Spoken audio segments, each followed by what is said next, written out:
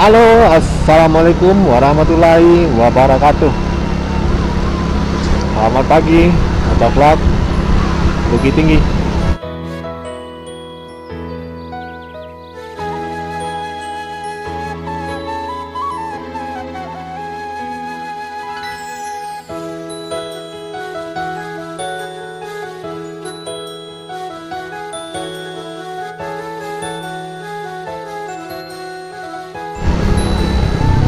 Di depan kita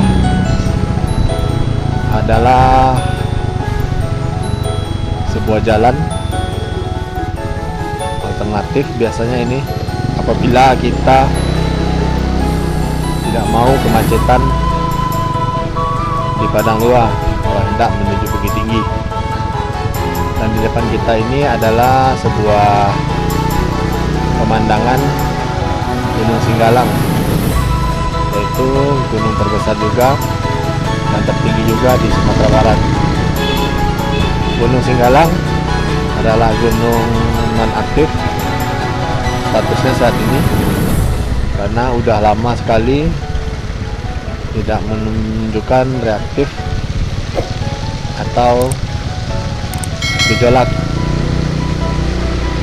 Karena untuk Gunung Singgalang sendiri bisa dibilang tidak memiliki kawah gitu. Kawahnya yaitu berupa sebuah danau. Jadi apabila kalian seorang pecinta alam kalau hendak ke Gunung Singgalang atau mendaki Gunung Singgalang puncaknya yaitu sebuah danau yang biasa disebut sama orang-orang pendaki yaitunya Telaga Dewi kita sekarang tidak membahas Gunung Singgalang ya.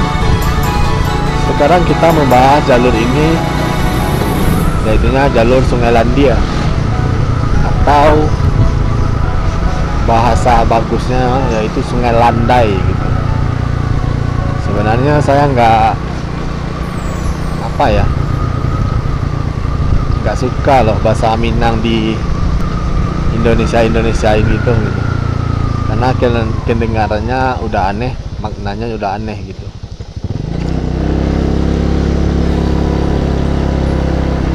Ya itulah namanya perubahan atau transisi zaman.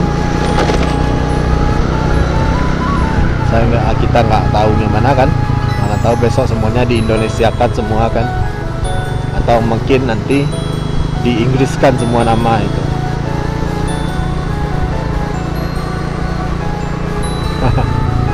mungkin itu termasuk saya jangan-jangan yang cerita bobo kata orang.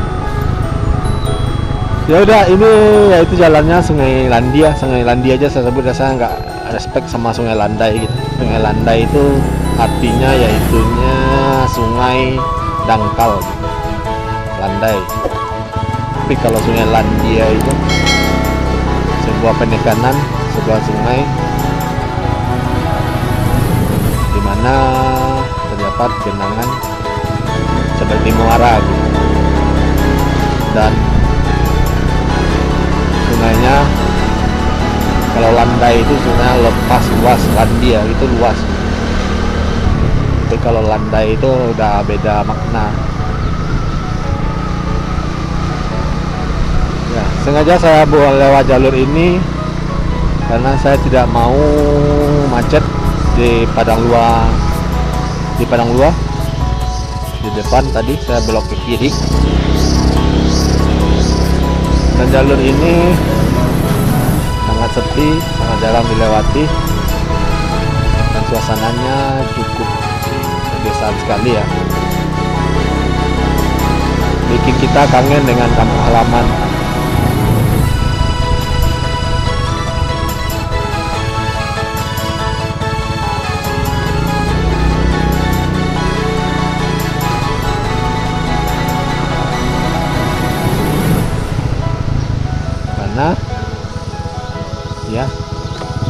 apalagi kita lihat di depan rumah ada kolam di belakang ada kebun gitu kan.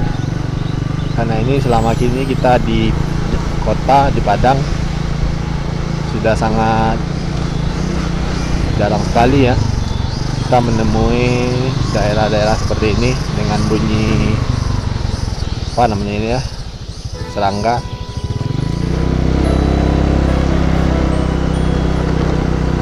nah ini dia sungai Landia. Tobek Gadang.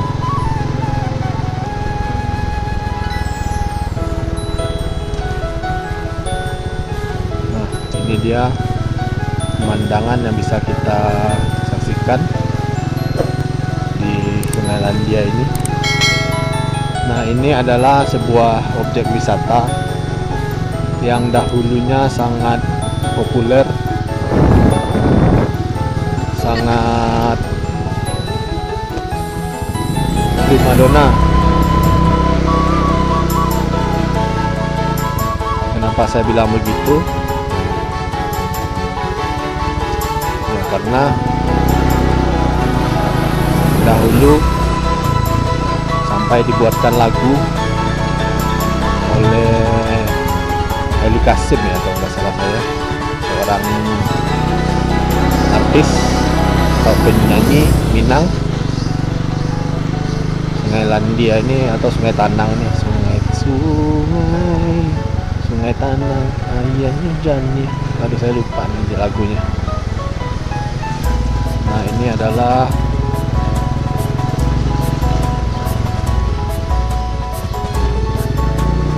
sebuah kolam raksasa yang dahulu menjadi hits atau primadona tempat ini. Namun sekarang sudah mulai dilupakan. Tidak tahu kenapa.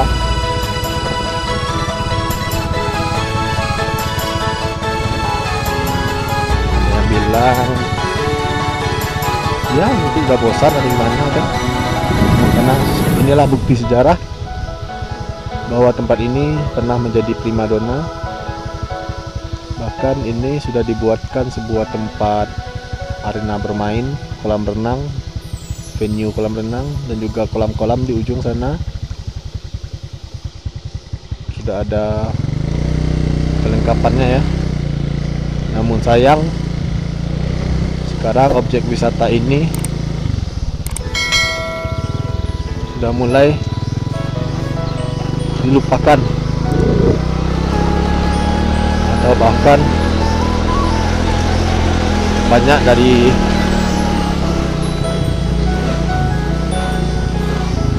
masyarakat Sumatera Barat sudah tidak tahu lagi dengan objek wisata ini. Semoga Dinas Pariwisata Kabupaten Agam mulai serius mengembangkan wisata-wisata seperti ini ya. Ya dulu kalau kalian bisa lihat referensi melalui Google atau melalui Wikipedia tempat ini dijadikan tempat mandi-mandinya masyarakat Sumatera Barat bahkan perantau mulai dari Pekanbaru atau sampai ke Medan belum lengkap dahulu rasanya kalau belum sampai ke sini.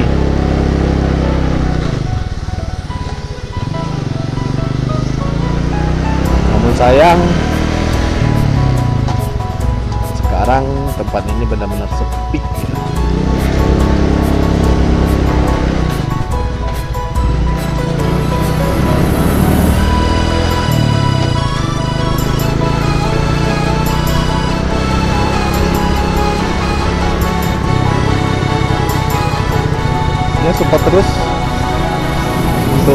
wisata Sumatera Barat. Atau jika kalian ingin berkunjung silahkan. Lokasinya sudah saya lihatkan kalian bisa mencari di Google Map.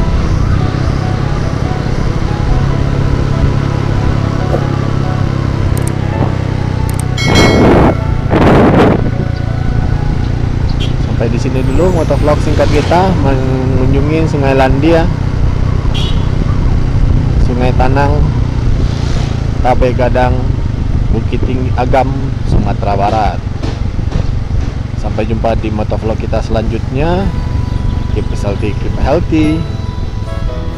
See you.